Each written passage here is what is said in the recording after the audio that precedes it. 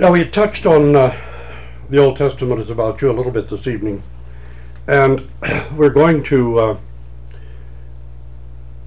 try to focus on the books, uh, book of the Kings uh, later. Uh, there are one or two people that we'll mention from the book of Judges, but I also wanted to answer, or at least discuss, some questions that have been asked, and. Um, I should look more at the camera, but I keep watching the time because I only have, you know, this 10 minutes to speak. Uh, we somehow gotten into a discussion, not uh, directly online where I was speaking, about things that are genetic and things that are not genetic. And it has to do with uh, when we were discussing evolution. And there were several interesting questions. Uh, one of them was why identical twins who have exactly the same genetic makeup, one of them gets a genetic illness, the other one doesn't. Or there's something different between the two uh, identical twins that you would normally not think should be there. Well, the answer lies not in the genes, but in epi epigenetics.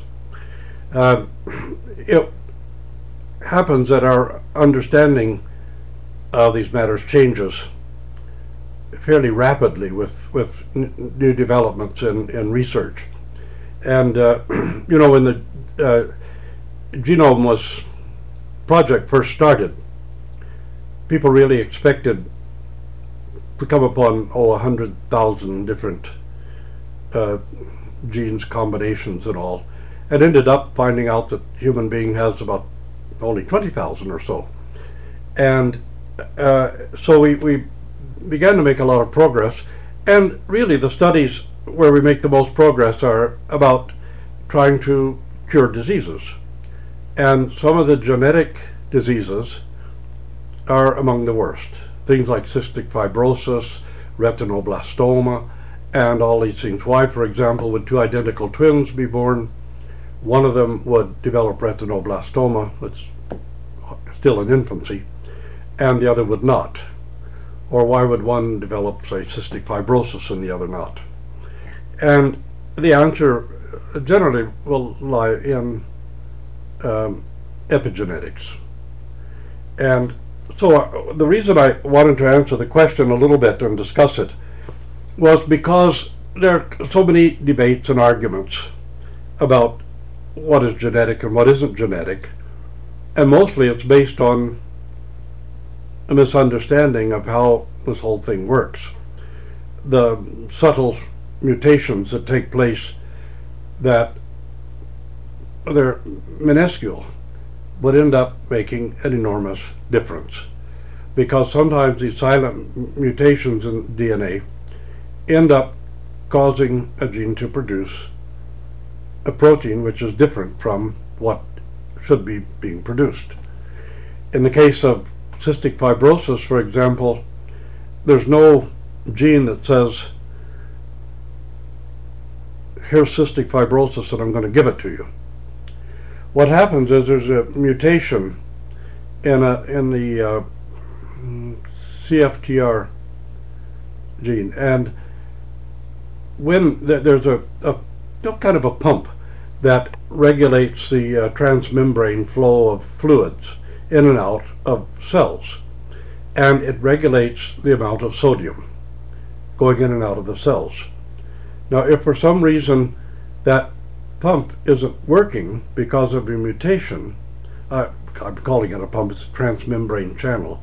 But anyway, it isn't working properly and the sodium balance is quite off then cystic fibrosis is going to result not because a gene popped up and said, uh, I'm going to give you cystic fibrosis, but because the sodium balance is not there.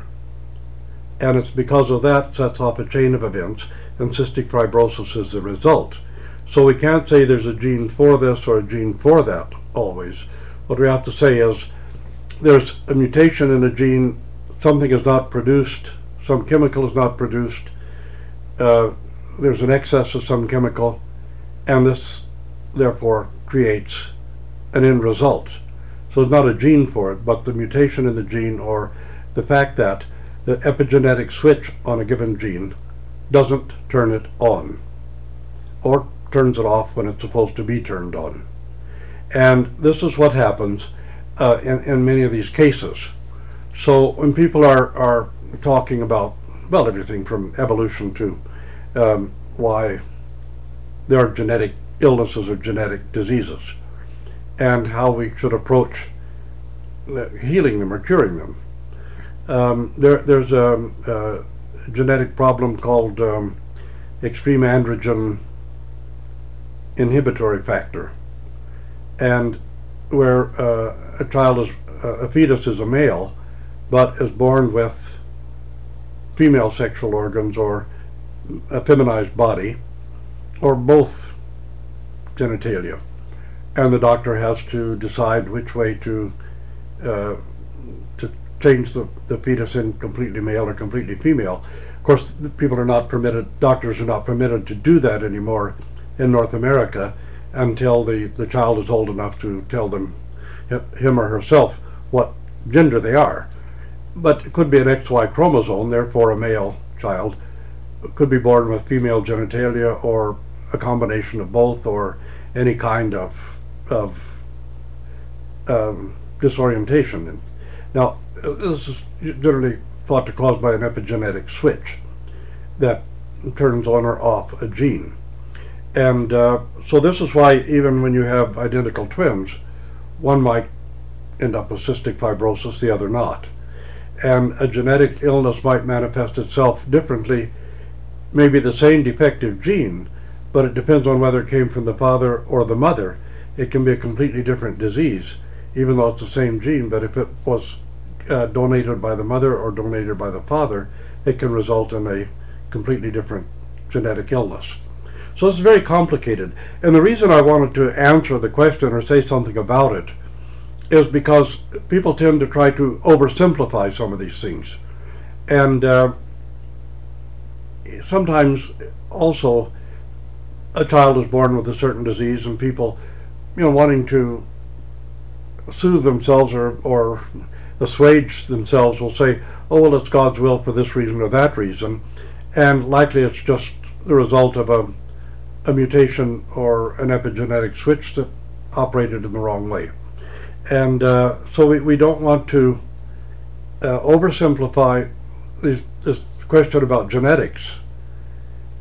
And yet, ideology is going to always play into how people deal with genetic, the findings of genetic research. And people are going to focus on one finding or another, and they're going to make that a part of the ideology they're trying to promote.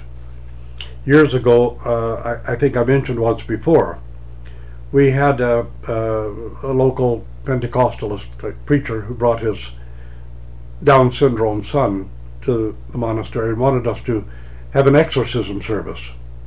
And questioning him, we found out that he'd been to every Christian group asking for exorcisms because he was convinced that the boy was possessed by demons. And in fact, the boy was Down syndrome. And um, we tried to convince him of that, and no, no, it couldn't be, you know, not my child. Well, he was. This is what he was ultimately saying, but it's a genetic um, problem, and perhaps even an epigenetic problem that a gene that should have been turned on wasn't, a gene that should have been on was turned off by this uh, epigenetic switch that, that attaches is attached to all genes. So we uh, don't want to oversimplify it. We don't want to say everything is God's will. Uh, we want to accept people as they are. That's why Christ said about the man who was born blind, remember, who sinned that this man was born blind? his parents or him. And Christ said, neither one of them sinned. He was born blind. Neither his parents nor him sinned. There's something else going on here. And uh, that's precisely what happens in these genetic situations too. Why there's often such a difference